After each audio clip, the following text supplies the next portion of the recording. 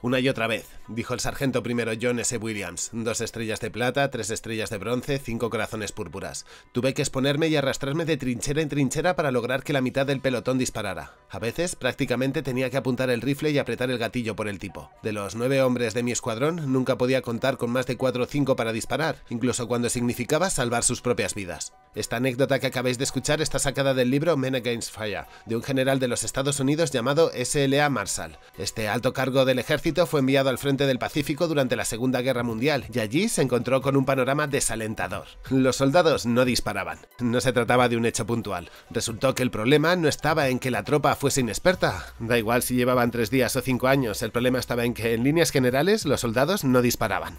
El general hizo cálculos y llegó a la conclusión de que solo entre el 15 y el 25% de los soldados habría fuego. Lo achacaba a que el ser humano no es un asesino nato. Cuando Marshall se encontró con esta revelación no pensó, mirad, qué interesante debate filosófico acabo de reabrir sobre la naturaleza humana, sino que como buen militar se dijo a sí mismo, uff, tenemos un problema, ¿eh? es inadmisible que solo disparen uno de cada cinco. Y acto seguido se preguntó, ¿se puede educar al instinto? Y en caso de que sí, ¿cómo hacerlo?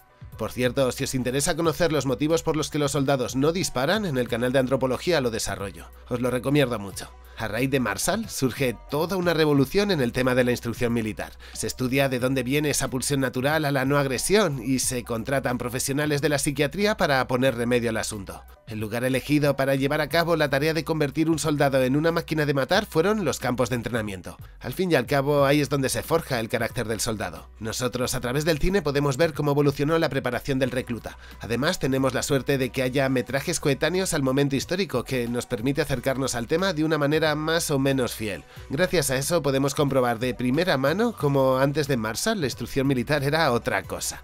Y es que el séptimo arte ha dejado una lección magistral de cómo adiestrar gente algunas de la talla de la chaqueta metálica, peli que analizaremos en este ensayo. Bueno, al lío. En 1930 se rueda Sin Novedad en el Frente, película a la que dedicamos un vídeo y que YouTube ha tenido la amabilidad de desmonetizarme, en fin. En los primeros minutos de la cinta nos muestran el proceso de instrucción durante la Primera Guerra Mundial. Un grupo de chicos decide alistarse. Cuando llegan a los barracones se encuentran con que el instructor es el cartero del pueblo al que tenían hasta las narices con sus bromas, solo que ahora es un tipo con rango y el cachondeo se ha terminado. Himmelstos, cuánto me alegra verte. ¿Qué ha dicho? Bueno, solo que... ¡Cállese! ¿Qué te pasa, Himmelstos? Cuando se dirija a un superior, diga señor. Se acabó la tontería. Con esta escena se pone de manifiesto lo que implica apuntarse a una academia militar. Es otra realidad totalmente diferente. Esto se hace para darle una identidad de grupo, se le separa del resto de la comunidad y se le inyecta el pensamiento de que debe de proteger a la sociedad luchando. Pero no solo se hace por eso. Lo primero que harán será olvidar todo lo que sabían. Lo que han aprendido, olvídenlo, ¿vale? Olviden lo que han sido y lo que creen que van a ser serán soldados y nada más. Tienen que olvidar los valores con los que han crecido porque se van a poner en contraposición directa con muchas de las cosas que les van a enseñar. Mirad, para potenciar ese sentimiento de comunidad, algo que veremos en todas las películas de las que vamos a hablar es que mientras corren, cantan marchas militares. Es una constante. Eso no solo se hace para marcar el paso y sincronizar a la tropa, sino que les da una identidad colectiva. Son sus canciones. Bueno, pues en este metraje se puede ver cómo la preparación del soldado durante la Primera Guerra Mundial es puramente física. Se limitaban a correr, a perder el asco, a lanzarse contra el barro y a ejercicios con la bayoneta cuerpo a cuerpo. Los reclutas apenas tocaban un arma. En la peli no se ve que practiquen, lo que podía deberse a que la munición era apreciada y resultaba preferible gastarla en el frente, ni tampoco hay dianas.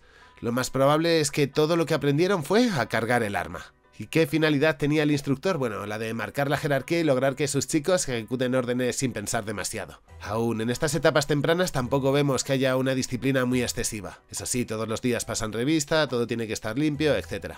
¿Y entonces funcionó un modelo autoritario basado en el castigo y la obediencia? no demasiado. Los chicos la noche antes de entrar en combate asaltan por la noche a su instructor para tirarle al barro. Para la Segunda Guerra Mundial algo ha cambiado. Esto lo podremos ver a través de la serie Hermanos de Sangre. Tuve que tomar este ejemplo porque en el cine desde 1940 a 1955 los argumentos siempre se desarrollan en el frente o en la retaguardia y no dan nada de espacio al tema de la instrucción militar. Eso sí, tal vez conozcáis alguna que yo no. Si eso dejádmelo en comentarios. Total, que durante la Segunda Guerra Mundial el adiestramiento es bastante similar. Suben a montañas, corren, cantan, forman, obedecen al instructor, pero se añaden elementos. Ahora no se limitan simplemente a correr y a lanzarse contra el suelo, se han creado circuitos de obstáculos que debe superar el recluta, con lo que mejorar su forma física. Y ahora sí, por fin, se realizan prácticas de tiro con dianas redondas. Y un detallito, mirad, en Sin Novedad en el frente les tenían repitiendo la orden izquierda o derecha, ya que muchos eran analfabetos y tenían que partir por algo básico. En Hermanos de Sangre están recibiendo cursos. Eso nos habla de la alfabetización que se dio en el periodo de entreguerras. Una corbata de civil. Está prohibida. Son soldados y no debe de haber nada que les recuerde a su vida anterior. En la serie se usa la misma fórmula de un instructor estricto, muy similar al de la primera, sin apenas maltrato psicológico ni físico, solo castigo. ¿Funciona? Mm, no demasiado. Es curioso como tanto en la instrucción de Sin Novedad en el Frente como en la de Hermanos de Sangre, el instructor es vacilado. Su fórmula, que se limita al castigo físico y a la obediencia ciega de órdenes, no desarrolla liderazgo, solo malestar y rabia entre los soldados. Así que podríamos decir que el adiestramiento en el fondo había fracasado, y da un poco de sentido a las bajas tasas de disparo que eran de un 20%. Algo habría que cambiar. Y alguien podría decir ahora, ¿y qué pasa con los kamikazes japoneses? Muy buena pregunta, la verdad, sí. Esa peña sí estaba predispuesta a matar. Bueno, mm, siendo precisos, estaban dispuestos a morir más que a matar. Dentro de su psique se plantó un pensamiento de sacrificio, el famoso todo por la patria. ¿Y cómo es que los japos supieron cruzar esa línea que las potencias occidentales no podían? Añadiendo terror a la disciplina, así.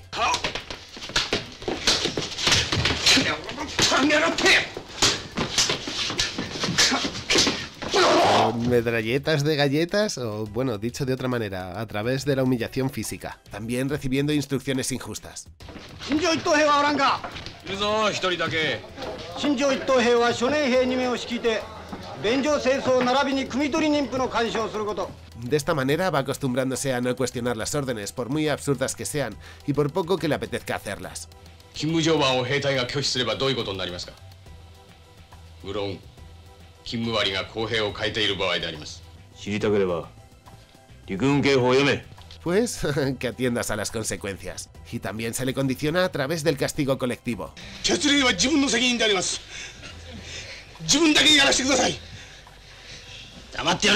Si tú fallas, todo tu escuadrón puede morir. Te hace responsable y crea un sentimiento de familia, de hermandad. Todos sufren y disfrutan a la vez. Los vuelven una unidad. Esta idea será muy recurrente en los futuros modelos de instrucción. Lo veremos en la chaqueta metálica. ¡Abre la boca!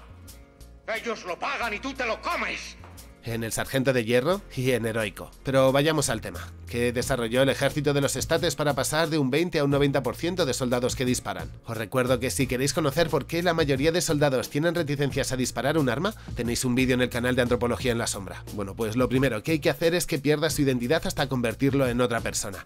Y eso pasa por hacerle transformaciones físicas, todos con el mismo peinado o directamente rapados. Por eso Kubrick inicia la chaqueta metálica con la escena del corte de pelo, porque nos va a mostrar un militar en detalle. Cuando salió la peli Heroico, un chico llamado César viralizó un hilo donde contaba cómo fue su experiencia en el ejército mexicano, y me mandó unos tweets explicándomelo en mayor profundidad. En uno de ellos me mencionó que no le tenían permitido mirarse en el espejo. Eso sería como el refinamiento a esa pérdida de identidad. Desde que entraste al servicio hasta que salgas cuando te veas en el espejo habrá pasado tanto tiempo que verás otra persona diferente, eres otro. En el Sargento de Hierro se sigue profundizando en esa idea de la identidad colectiva y la pérdida del individualismo, cuando cada mañana Clint aparece con una camiseta diferente. O llevamos camisetas iguales o no llevamos ninguna. Y así los tiene mareados durante toda la película. Y en el fondo lo que está haciendo tiene mucho sentido. Resulta una idea fantástica el empezar todos los días con un castigo colectivo. que ya sabéis, por los japos que potencian el sentimiento de pertenencia a un grupo. ¿Y por qué se intenta diluir su identidad en el colectivo? Bueno, pues de fondo se encuentra esta idea. Una persona puede razonar por sí misma, pero en grupo se abandona la masa y actúa de manera que nunca se atrevería a actuar como individuo. Por eso es importante darles un uniforme y una identidad de pertenencia a grupo. Todo eso se hace para que aprendan a ser obedientes y a desligarse de su personalidad. Se renuncia a la individualidad en favor de un pensamiento de grupo. Formáis parte de una hermandad. A partir de hoy y hasta el día de la muerte, cada marine será hermano vuestro. Otro punto importante del adiestramiento es que aprendan a reconocer una figura de líder a la que obedecer ciegamente. El instructor es un elemento que había que retocar. Recordad cómo en las pelis de las guerras mundiales les tomaban a risa, bueno pues eso cambia. El oficial de instrucción debe de ser paternal a la vez que agresivo y violento. Esto se ve perfectamente en el sargento de hierro, que es un tipo capaz de disparar a su tropa con una K-47 real y a la noche entregar parte de su sueldo a un soldado con más hijos que un conejo. Que por supuesto es latino, toma prejuicio. Respecto a esta parte en la que los embosca y ataca con fuego real, Este es el rifle de asalto AK-47, el arma preferida de vuestro enemigo. Hace un ruido característico cuando lo disparan, así que recordadlo. fijaros en este detalle que ocurre poco después. Pero Dios mío, ¿qué es eso? Señor, es el rifle de asalto AK-47. El arma preferida de nuestro enemigo. Hace un ruido muy característico cuando la disparan, señor. Las tropas automáticamente han identificado el ruido. Les han inyectado un recuerdo desde el estímulo del trauma. Miedo y estrés para aprender.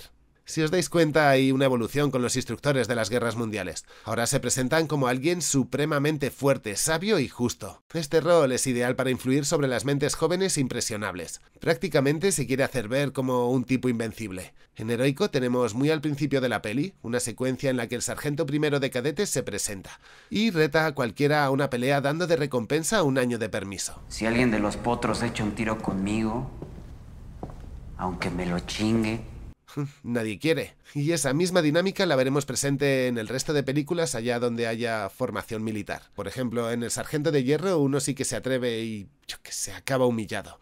Con esto, ¿qué se pretende? Bueno, pues que el líder debe de ser alguien a quien te apetezca obedecer, superior a ti. Y fijaros en la diferencia, en Sin Novedad en el Frente o en Hermanos de Sangre son troleados, mientras que en El Sargento de Hierro le preparan una canción de puro lamebotas.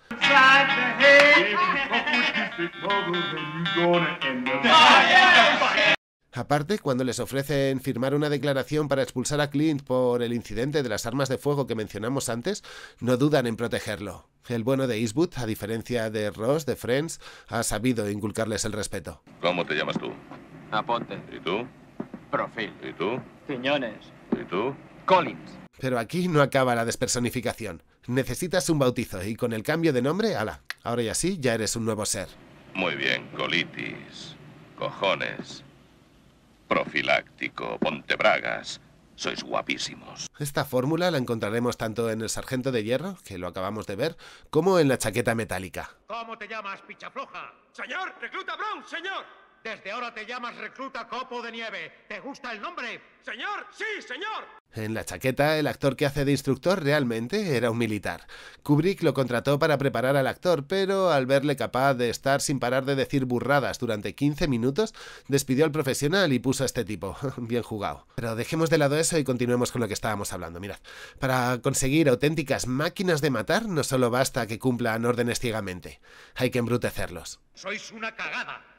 Lo más bajo y despreciable de la Tierra. Ni siquiera algo que se parezca a un ser humano. O hacerle entender que el arma forma parte de él. Aquí mi fusil, aquí mi pistola. Uno da tiros, la otra consuela. Mm, Todo eso son buenas ideas, pero el maltrato físico y psicológico es más importante. La primera escena de la chaqueta metálica es muy paradigmática con eso. Mirad, se aplica algo al principio de la instrucción de nuevos reclutas para crear al soldado perfecto. Se trata de la brutalización y la insensibilización. Es la etapa en la que se ve el castigo físico y verbal. La brutalización está diseñada para reconfigurar todos los valores y normas que tiene el soldado. En ese proceso renuncia a su moral de civil y acepta nuevos valores como la destrucción, la violencia y la muerte. En nos encontraremos en varias escenas a los reclutas viendo en el móvil vídeos gore con la complicidad de sus superiores. Si se les permite eso, cosa que corrobora que ocurría a César, es precisamente porque empuja a la transformación, al asalvajamiento. El objetivo es insensibilizarlo para que no tenga remordimientos a la hora de apretar el gatillo. Y relacionado a esto último, es importante deshumanizar al enemigo. Los ucranianos llaman a los rusos orcos, los del Tercer Reich ratas a los judíos. El punto es que no parezcan seres humanos ni se les conceda un poco de humanidad. Es más fácil eliminar una plaga que hacer un genocidio. Hmm, no tiene las mismas implicaciones morales. Y en esta etapa también es importante mantener al recluta siempre bajo estrés, como en estado de shock. Dejad de menearosla y poneos los calcetines. Muy bien, levantaos, en pie, levantaos. Os quiero fuera dentro de cinco minutos. ¡Moveos! Eso es, que duerman poco. ¿Me entendéis, capullos? Señor, sí, señor. Coño, más alto, no os oigo. Señor, sí, señor. Mm, se aplican técnicas como las de Pavlov, aprendiendo por repetición, para que actúen como por acto reflejo. Escuchan, obedecen, escuchan, obedecen, escuchan, obedecen, así hasta el infinito. Pero eso le han dado una vuelta de tuerca. Escuchad, en los últimos años los ejércitos profesionales han decidido cambiar el tiro al blanco por ejercicios tácticos donde los objetivos te aparecen y en el que recibes puntos por derribarlos. Ya no es disparar a una diana fija, la que, por cierto, ha evolucionado. Hemos pasado de un círculo a una con forma de silueta humana, que sirve para que el soldado vaya interiorizando el tipo de objetivo a derribar, y de paso para que aprenda a ver dónde hace más daño. Más útiles son los ejercicios con Simunition. ¿Simunition? No lo.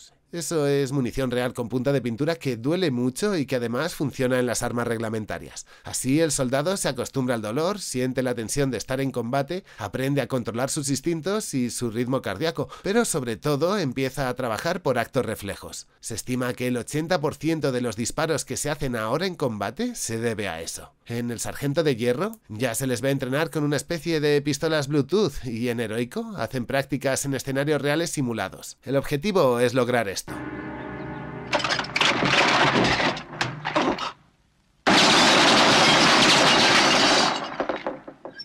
El acto reflejo. Y a la hora de acabar con el rival hay handicaps.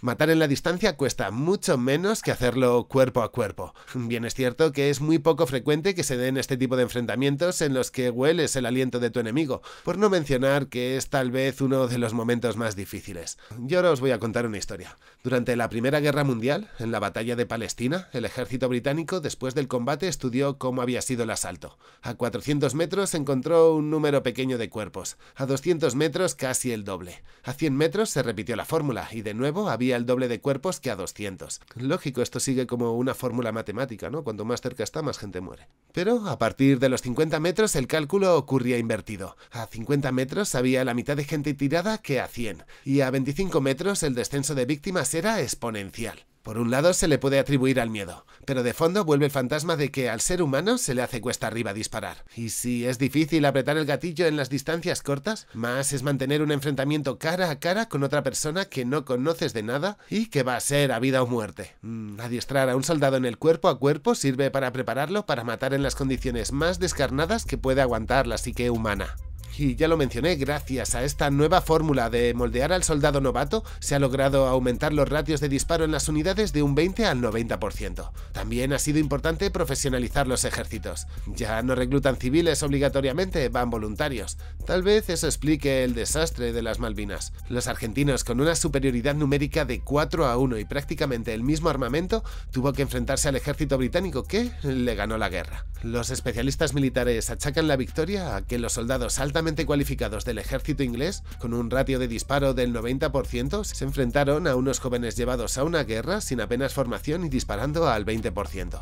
La receta para lograr convertir a una persona en máquina de matar está muy relacionada con los procesos que se dan durante la instrucción y que tienen una naturaleza psicológica. Por ejemplo, la pérdida de la identidad que hemos visto, el embrutecimiento, el aprender a obedecer órdenes de una manera subconsciente y la subordinación al líder. En el cine hay infinidad de películas, aparte de las que he mencionado, donde se puede ver todo esto. Pero aparte, en los últimos años han introducido un factor que es determinante, el entrenamiento en entornos controlados. Ese elemento logra que el soldado actúe sin pensar mediante el reflejo remoto y la memoria muscular.